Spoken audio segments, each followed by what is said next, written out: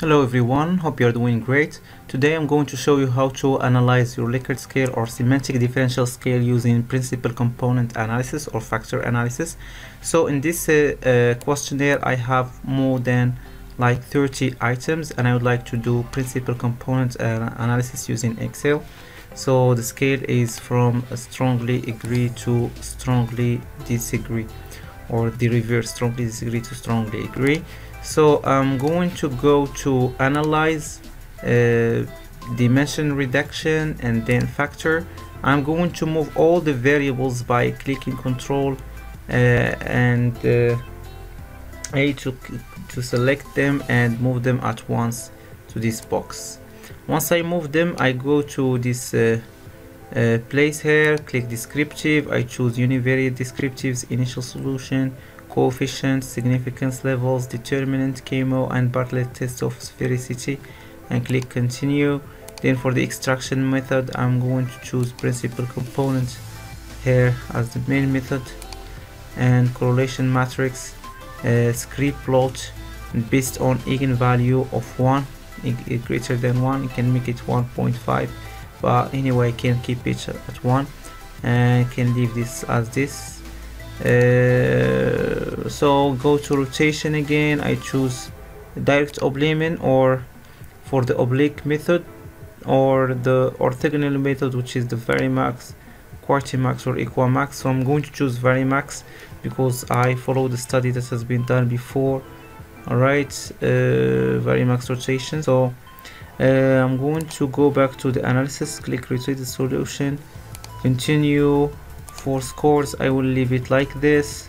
For options I'm going to uh, go here coefficient display format and sort it by size ticket and suppress small coefficients and absolute value below. I keep it at 3 because it's described in the literature.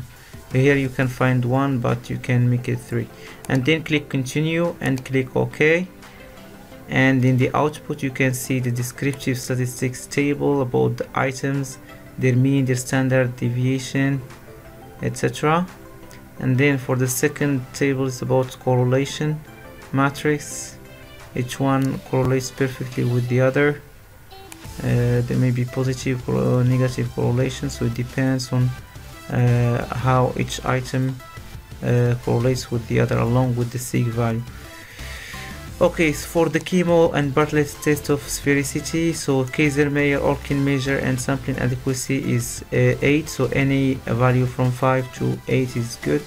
And Bartlett's test of sphericity, here its sig value is less than 0.01, which is good uh, indicator.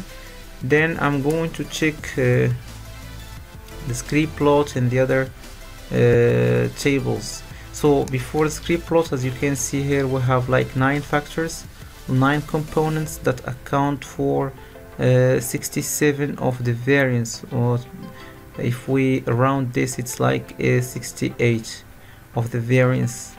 Alright so let's go to scree plot. So we have uh, two uh, co components depending on the eigenvalue of one uh, and in the rotation um, component matrix. So this table this is with nine uh, factors nine components. And the, uh, each uh, factor has like the corresponding items.